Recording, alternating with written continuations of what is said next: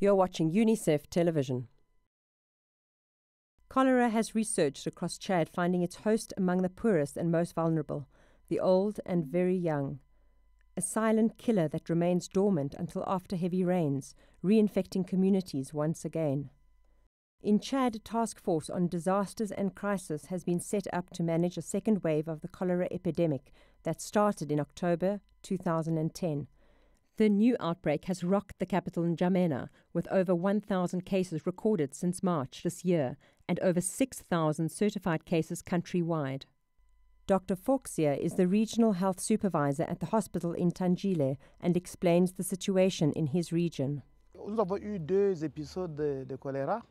La première, c'est en octobre 2010. C'est une épidémie qui a duré un mois. Maintenant, la deuxième vague de l'épidémie est arrivée euh, en mars, précisément le 25 mars. Ça fait son apparition toujours dans le même village. Depuis mars euh, à ce jour 17 juin 2011, nous avons 467 cas. Nous avons déploré malheureusement 51 cas de décès. Donc les décès sont essentiellement des personnes âgées et des jeunes enfants. Emergency workers in the capital Jamena believe that the first outbreak never really disappeared. Ce qu'on pourrait dire, c'est que euh, donc déjà l'épidémie de 2010 ne s'est jamais vraiment arrêtée. Donc l'épidémie qu'on a en 2011, euh, c'est l'épidémie en fait de 2010. Il y a une période interépidémique euh, qui est très courte, pratiquement inexistante. Et ce qu'on peut dire, c'est que euh, depuis à peu près mars, il y a vraiment une recrudescence des cas.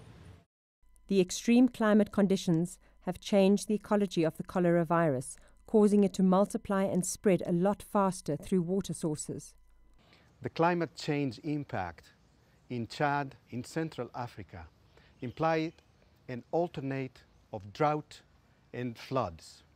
Cholera, therefore, presents itself in Central Africa, and particularly in Chad today, as an important public health threat that has to be tackled urgently and immediately. According to experts in the field, the epidemic in the country's capital is out of control.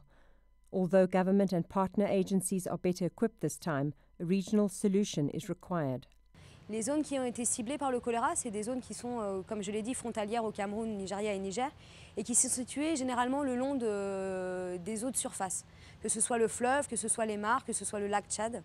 Et euh, il y a peu, euh, peu de programmes de développement qui sont financés dans ces zones. It's a thankless task for these young men who have not been paid in months, yet play a vital role of burying the dead and disinfecting homes on the front lines of the cholera epidemic. C'est une maladie d'abord euh, euh, de- de- de- de- d'hygiène. Si, si l'hygiène n'est pas bien observée, donc on dit communément c'est une maladie des, des mains sales.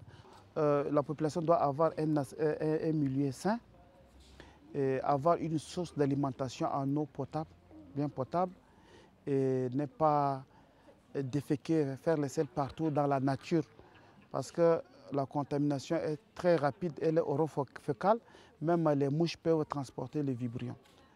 The disease of dirty hands, as it is known in Chad, is a water and sanitation issue.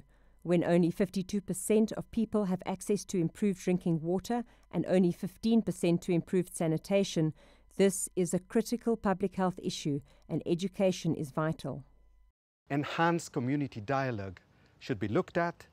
Systems, in other ways, should go to people and not under the usual expectation waiting people to go to systems. UNICEF's response is far reaching, from actively promoting behaviour change to distribution of life saving prevention and treatment kits, as well as piloting community led sanitation and water projects. The concern is the combination of waterborne diseases such as cholera and floods. We are approaching the rainy season. The combination of the two imply directly displacement of people, destruction of property, increased disease, and increased mortality levels. So it is absolutely important to link climate change impact to poverty, It's not difficult to contract cholera when a contaminated river, dam, or well is the only source for washing, fishing, bathing, and ablutions. This is Cheryl Ace Ali reporting for UNICEF Television, United for Children.